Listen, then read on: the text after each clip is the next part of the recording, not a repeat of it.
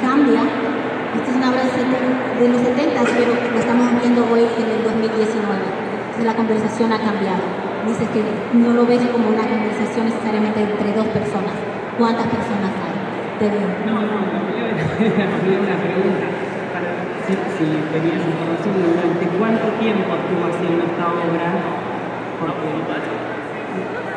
imagino como que es una conversación a lo largo del tiempo, no creo que haya sido, bueno, me siento y hago esta obra monumental en un momento, me parece, por lo menos a mí me pasa como de ir y venir con la obra todo el tiempo, que uno va, hace otra cosa y después vuelve y ahora ya hace 20 años que pinto y ahora estoy pintando cosas que pinté al principio, volví y algo así. Entonces mi pregunta más era cuánto tiempo se tiene en medio, tienes ¿Durante cuánto tiempo estuvo haciendo esta obra?